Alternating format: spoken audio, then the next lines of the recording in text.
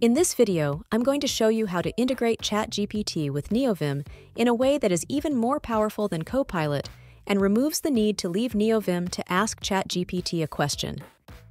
First, you are going to need a ChatGPT API key from OpenAI. If you don't already have an OpenAI account, create an account first, then click the link in the show notes to get to the API key page. Click Create New Secret Key and give your key a name that indicates where it will be used.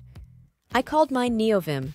Click the button to copy your new API key and put it somewhere safe for now. We'll need this later. Next, we are going to install a NeoVim plugin called chatgpt.nvim. See the show notes for a link. To install the plugin, scroll to the installation section and copy the snippet for whichever plugin manager you use. Paste this into your plugins.lua file. Your file name and location may be different than mine. Save the file to install your plugin. We also need to configure the plugin, so let's create a new configuration file in our plugins directory be sure to reference the new file in your init.lua. Copy the setup and default configuration from the plugin's GitHub page and paste it into your configuration file. If you just want to use the defaults, then you only need the API key command setting, but I like to copy the entire config so that I can easily change values later. The most important setting is the API key command, which you will set to a shell command that retrieves your API key. I'm using libsecret to store my passwords and keys, so I'll be installing Secret Tool, which is a command line interface to the libsecret library. There are instructions on the chatgpt.nvim page for using other secret managers. First, I'll install Secret Tool with the following command. Next, I will use the store command to store the API key we created earlier into libsecret. This command needs a label, followed by an attribute value pair that the secret will be associated with. You will then be prompted for the password, which is just your API key. To test if the key is stored correctly, run the lookup command with the same attribute value pair. When you have that working, copy the full lookup command and paste it in the API key command setting of our configuration. Let's restart NeoVim and try out the ChatGPT command. Shoot, it appears I don't have any credits in my account.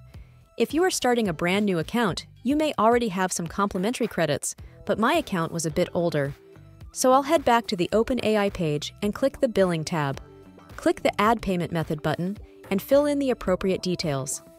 Next, you can set how much you will fund the account with credits and if you want it to automatically recur. I'm just trying things out, so I'm going to set it to the minimum amount and not enable recurring payments. Let's try the ChatGPT command again in NeoVim. Hmm, looks like it still isn't recognizing our credits. Let me try restarting NeoVim again. Hey, look at that! We are able to use the chat prompt just like ChatGPT in our browser. This means we never have to leave NeoVim to ask ChatGPT a question again. Awesome! Okay, now we are going to step it up a notch and edit some code. First, let's use Visual Line mode, Shift-V, to highlight a block of code, then run the ChatGPT Edit with Instructions command. On the left side, you will see the code you just highlighted. The existing code reads account information from the database. I'm going to try to get ChatGPT to update the code to read a new database column. A few seconds later, and look at that! To accept the updated code, press Ctrl Y. It worked but now it is complaining because the corresponding class doesn't have that parameter. This is easy enough to fix by hand, but let's give ChatGPT a crack at it. It has no problem updating this class, and if we go back to the original buffer, you can see the error is no longer there. Next, let's try the chat GPT complete code command. I'll start out by typing out a comment of what I want the function to do. This should provide some context for ChatGPT to complete the code. Hmm, I'm getting an error that the 4K token limit has been exceeded. This command seems to want to send the entire buffer to ChatGPT, and my files are rather large, so this could be quite costly. I'll try it in a separate file just to test it out. It seems to work, but in my opinion, it's a bit clunky. Fortunately, there is a much better option. The ChatGPT run command takes a parameter indicating the action you want to run. There is a good set of options built in, but you can extend these with your own options as well. Let's try the complete code example again, but this time using the Chat GPT run command. First, we highlight the lines we want to use for context. Then we type the command chat GPT run space complete underscore code. That's much better. While the code that gets generated is not always perfect, this workflow was much nicer than the chat GPT complete code command, and it only sends the selected text as context. Let's try a few other ChatGPT run actions. The Fix Bugs action will analyze the selected code and attempt to fix any bugs that it finds. In this case, there weren't really any obvious bugs, but it did notice that the code didn't handle exceptions, so it added an appropriate try-catch block. Pretty neat. To accept the updated code, press Ctrl Y. The next ChatGPT run action I want to show is the Explain Code action. This will analyze the selected code and provide a detailed explanation of what the code does. This is handy when you are reading a coworker's code or even your own code from a year ago. It looks like it did a pretty good job. Next up is the docstring action. This action will automatically generate a documentation block for the selected function.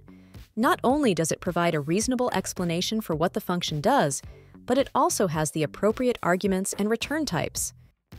If you have trouble coming up with professional sounding messages, the grammar correction action will help. It does a pretty good job with this poorly worded error message, but I still wanted something a little more professional, so I used the Edit with Instructions command we saw earlier to polish it up. Next, let's look at the Add Tests action. This action will automatically create unit tests for the selected function. The generated unit tests look decent enough, but there were references to a constructor that didn't exist, so I decided to use our old friend, the Edit with Instructions command. That looks much better. The last command that we are going to look at today is the Chat GPT Act As command. This powerful command tells ChatGPT to act like a specific persona in order to better answer your question. For instance, we can tell it to act as a SQL terminal. Now we provided a SQL query and it will respond appropriately. Feel free to explore the different personas to see what is useful for your workflow. For this video, I use the default GPT 3.5 Turbo model, but you can also use another model such as GPT-4 by changing your configuration. We've used this plugin quite a bit today, so before you go, let's see how much we've spent. Only 4 cents. That's not bad. Make sure to subscribe to see more great NeoVim videos like this in the future.